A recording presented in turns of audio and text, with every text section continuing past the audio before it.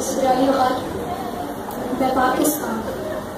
वो पाकिस्तान के जो अपनी तकमील से पहले पैरों में गुलामी की जंजीरें हाथों में मजलूमियत की हथकड़िया और गर्दन में रसन जुल्मोज्यादती जबरो तशद पहने, हिंदुस्तान की गलियों में पड़ा हुआ था। मुझे याद है, मेरी आज़ादी की बुरात कि जब मेरे वजूद के लिए आवाज़ उठाने वाले जवानों की लाशों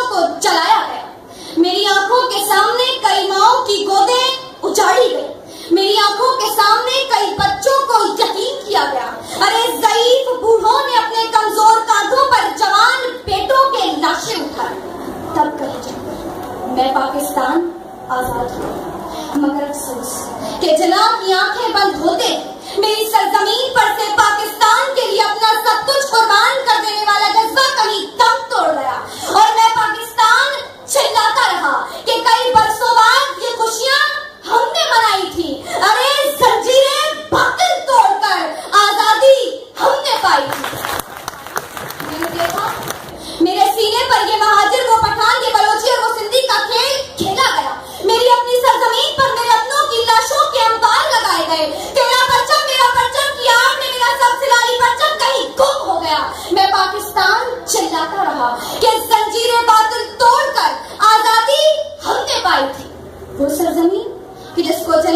इंसाफ के उसूलों पर बनने वाला मुल्क बनाना था।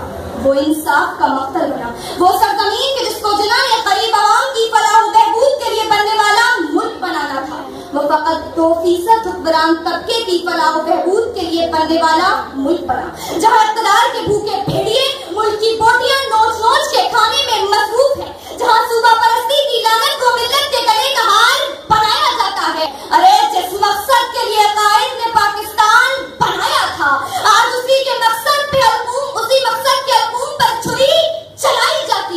एक जानब एक जानब नारे लगा लगा कर मुझे जिंदाबाद किया जाता है। तो दूसरी जानब मेरी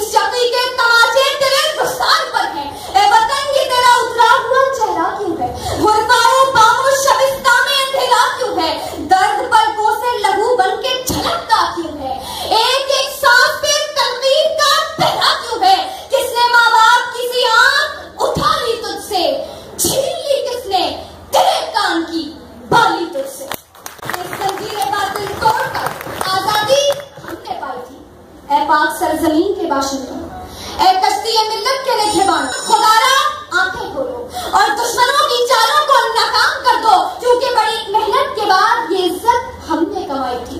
दुनिया में अपने होने की खबर सुनाई थी।